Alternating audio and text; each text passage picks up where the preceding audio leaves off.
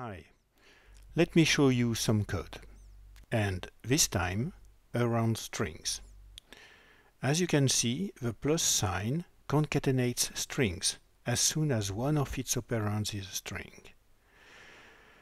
Unicode characters such as the Greek letter pi can be coded or directly typed if you know how to do it with your keyboard and your text editor.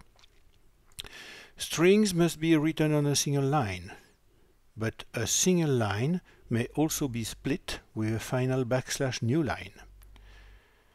Strings may be computed with backquotes, and computed parts are identified with dollar. Finally, strings are array of characters, but characters are strings of length 1. That's life.